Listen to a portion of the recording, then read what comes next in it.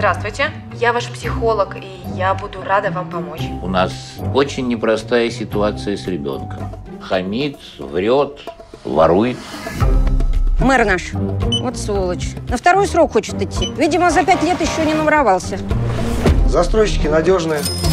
Осталось только поставить вашу подпись. Вот бы в глаза его родителям посмотреть.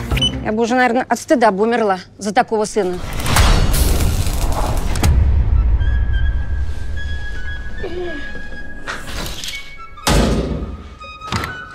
Твою мать, это шутка, что ли, какая? Всерьез. Открывай! Лет двадцать так не сидели. Чудо-остров, чудо-остров, жить на нем легко и просто, жить на нем легко и просто, чунга-чанга.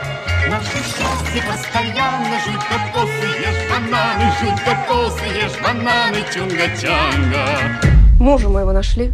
В больнице и морге не поступал. И давно ты воровать начал?